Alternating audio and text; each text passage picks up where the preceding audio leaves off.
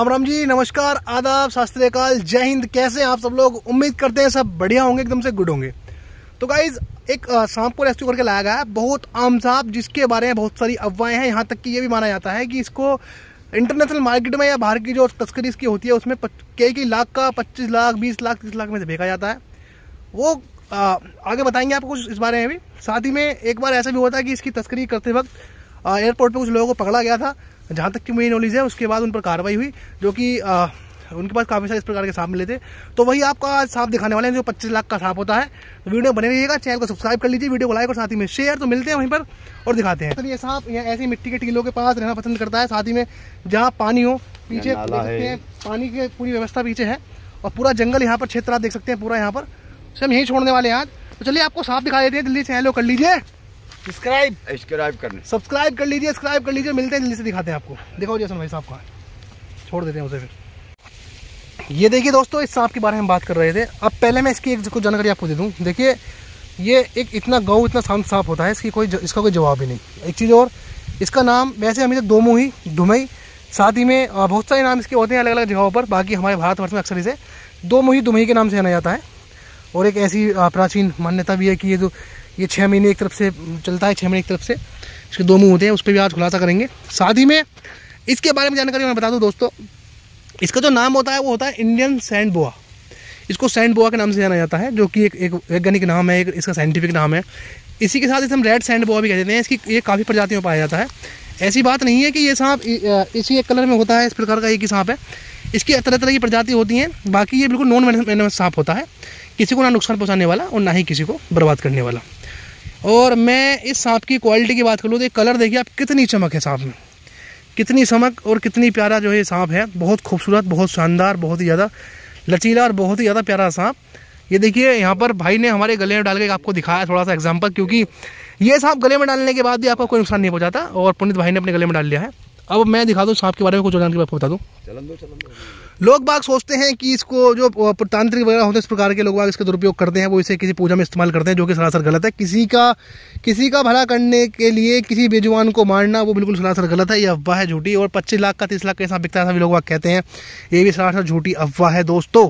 तो ये देखिए, पूछ दिखाने की कोशिश कर देता हूँ मैं, ये कहते हैं, मुँह होता है। देखिए, इसका, जो इसका जो आकार होता है ना, पीछे वाली पूछ का देखिए, वो कुछ चपटाकार थोड़ा सा होता है, बेलनाकार आकार होता है, देखिए। वो ऐसा कुछ नहीं होता, ये सब झूठी बातें होती हैं, अफवाहें।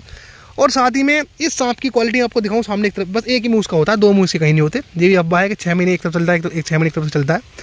तो कहीं भी ये किसी, इस केवल हमेशा एक मुँह से चलता है। रहना पसंद करता है मिट्टी के टीलों में, पानी की जगहों पे, के आसपास और साथ ही में।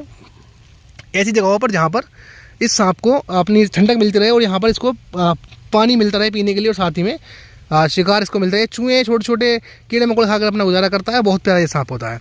तकरीबन ये लगभग अभी अभी सेमी एडल्ट सांप है पट्टा है, जिसे कह सकते हैं कि अभी जवानी में आया है। बड़ा हो जाता है लगभग लगभग तीन, साढ़े तीन फुट तक का आराम से हो जाता है, चार फुट का भी हो जाता है लगभग, जहाँ तक कि मैंने सुना है। और ये देखिए, सांप की देखिए क्वालिटी देखिए भाई, कितनी प्यारी क्वालिटी का सांप। और कितना बढ़िया ये सांप आप देख सकते हैं, बिल्कुल। देखिए, बहुत अच्छा सांप यहाँ पर। ये देखिए दोस्तों इसको बोलते हैं इंडियन सैंड बोआ इसको देखिए, बिल्कुल भी एग्रेसिव नमूने में नहीं होता ये सांप, बिल्कुल शानदार सांप। अब इसको हम यहाँ छोड़ देंगे ताकि अपने वातावरण में अपने माहौल में चला जाए। बहुत ही शांत स्वभाव का बहुत ही प्यारा सांप। बहुत सी अफवाह ये भी हैं कि गाँवों में, शहरों में कि अगर ये काट ले, वैसे तो ये काटता नहीं है और ये काट ले तो इसका काटा ना ही तो पानी माँगता और किसी कीमत में बच नहीं सकता। ये देखिए, ये सरासर वहम है क्योंकि सांप रसल वाइपर है, कोबरा है, उनको जहरीले बहुत होते हैं, मगर इलाज उनका भी एंटीवेनम है। ये तो बहुत गौ बहुत साधारण सा सांप है।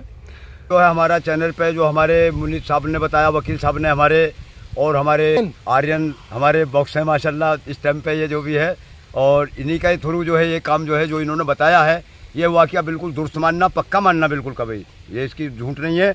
अब इसके तजर्बे के लिए इनकी सच्चाई क्यों दे रहा हूँ मैं लोगों को? पढ़े लिखे बच्चे, माशाल्लाह, वकील, वकालत हैं ये, और वो भी जानने वाले बच्चे हैं, ऐसे नहीं है, माशाल्लाह, सब चीज़ को जो चैनल चला रहे हैं लोग।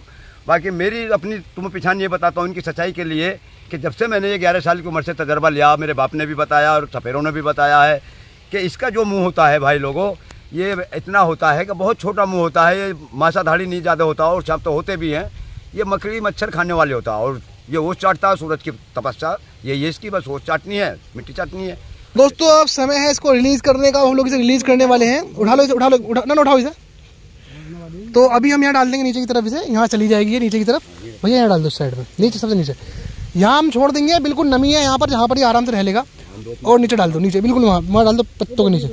हाँ। ये देखिए दोस्तों मैं दिखा मैं थोड़ा सा आपको कहीं ना कहीं दिखा दूँ। ये देखिए ये छेद करना जानता है मिट्टी के अंदर। ये ढूंढ रही है ये कहीं ना कहीं यहाँ चला जाएगा और उसके बाद हम यहाँ से चले जाएँगे। हम तब तक यहाँ रहेंगे तब तक ये किसी बिल में नहीं चला जाता किसी जगह नहीं पहुँच जाता। क्योंकि दोस्तों इस वक्त ये खुले में है और शिकारी परिंदे अक्सर घात लगाए बैठे रहते हैं ताकि इसे कोई शिकारी परिंदा ना मार दे। मगर यहाँ से ये हमारी यही एक एक काम जो है हम लगे हुए हैं कि यहाँ से चला जाए।